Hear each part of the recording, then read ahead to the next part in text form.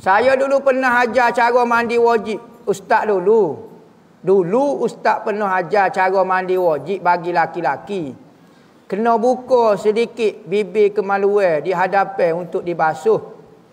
Boleh kau kita buat tak boleh puasa. Boleh puasa mandi junub.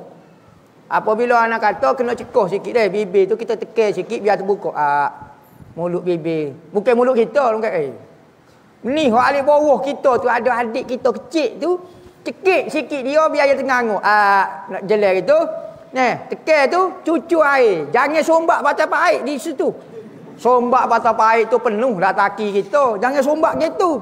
Tekan cucu gitu. Boleh kau dok boleh poso buat lagu tu.